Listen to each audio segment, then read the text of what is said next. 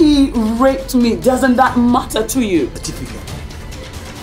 Get off her. Natasha was raised in Kampala, Uganda and went to school at St. New Primary School, Balikudembe Secondary School, Aga Khan and Aptek.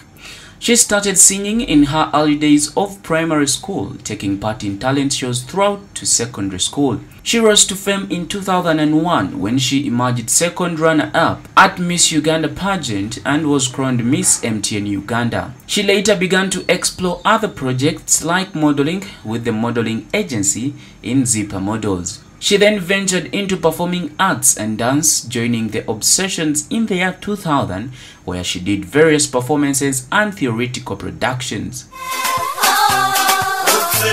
Oh, She finally moved to Combat Entertainment Limited and under Combat she achieved her major performance highlight performing for 52 heads of state at the opening ceremony for the CHOGM in 2007. In 2009, together with her boyfriend, they joined drama group The Ebonies.